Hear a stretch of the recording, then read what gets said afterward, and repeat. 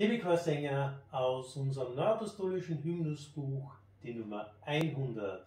O thou great God.